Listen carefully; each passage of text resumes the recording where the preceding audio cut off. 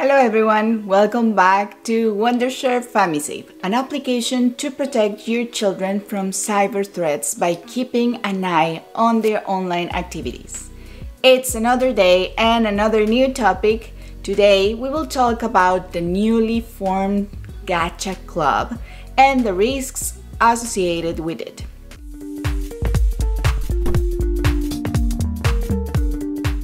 Well, have you heard of the Gacha Club before? Do your kids play this game? Gacha Club is a role playing video game that enables users to dress up and build anime style characters. It's a sequel to the Gacha Life game, in which Gacha refers to the small Japanese toys purchased from the vending machine. It provides a variety of play modes and has become one of the favorites of children and teens. However, the rating allowed by the Google Play Store is 10 plus and 9 plus on the Apple Store, so the app isn't as safe as it sounds. Feel free to leave any comments if you have any queries and don't forget to click on that subscribe button to FamiSafe to receive future updates and more videos. What is good about Gacha Club? Coming back to the main topic, every game has some pros and some cons. Same is with the Gacha Club. And before sharing the negative side with you, I would like to discuss the positive part of playing Gacha Club. Encourage creativity and storytelling. Kids can do some amazing things with their imagination. The Gacha Club offers them the opportunity to enhance and use their imagination in creating characters. As a result, this develops graphic design and art skills.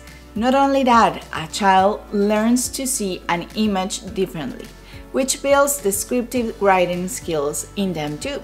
Non-violent game.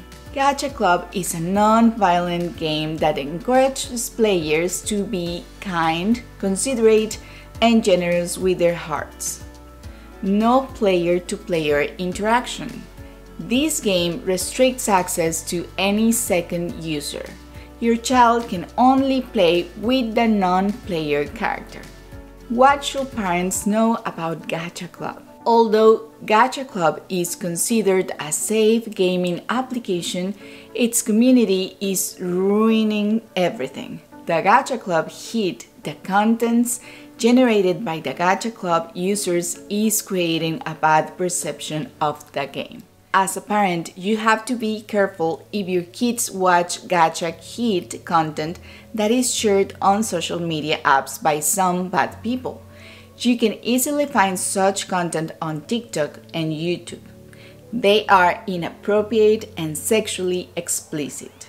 However, this is beyond the gameplay limits as such things don't happen in the actual game environment. How can parents make Gacha Club safer for kids? As you know, how unsafe the Gacha Heat is, you can make the Gacha Club game a safe choice for your kid by implementing 5 tips. 1. Make an open and friendly conversation with your child at the Gacha Club. Try to find out whether he only plays the game or searches for the gacha heat videos on social media too. If your child has access to such videos, make him understand not to watch them and just play the game for fun. Enable the web filters so that your kids can access sexually explicit content on YouTube or anywhere else online. You can use privacy settings to control the interactions of your kids with others and hide their posts from strangers. Use FamiSafe to protect your kids from inappropriate contents. Explicit content detection.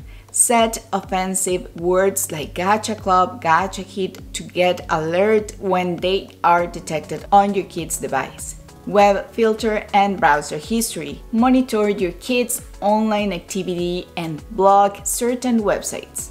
Screen time control. You can limit screen time and block specific apps like gaming apps that you don't want your kids to use. Now it's time to wrap up our episode on Gacha. If your kid likes to play this game, there is nothing wrong with it. But if you don't want them to explore the gacha heat videos, the tips I have shared will help in safeguarding your child's mental health. Do let us know what you thought about the Gacha Club and Gacha Heat. We want to hear from you, okay?